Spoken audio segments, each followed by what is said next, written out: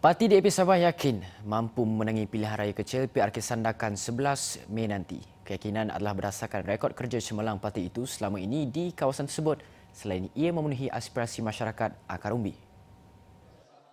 Bagaimanapun timbalan pengurusi DAP Sabah, Datuk Frankie Pun Min Fung tetap mengakui di sebalik berusaha keras mereka terpaksa akur kemungkinan tidak mampu memenuhi hati semua pihak. Warisan led BNPH government nah, ha. pegang kuasa.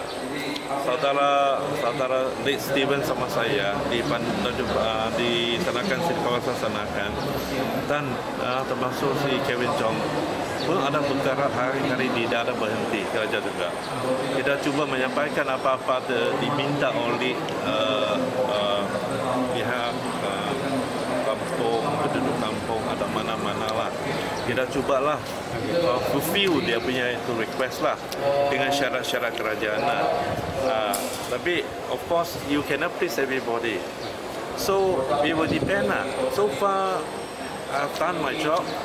Uh, saya bukan making excuses. I've done my job. Uh, you can also make your own uh, judgment from what you, you can you can masuk pergi kampung tanya juga lah. Uh, uh, I've done my job and I have no issues with that.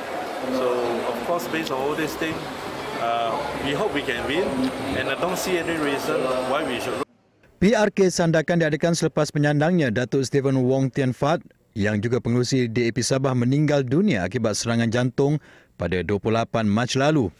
Selain tarikh 11 Mei ditetapkan untuk hari pengundian, SPR tetapkan hari penamaan calon pada 27 April dan undi awal pada 27 April.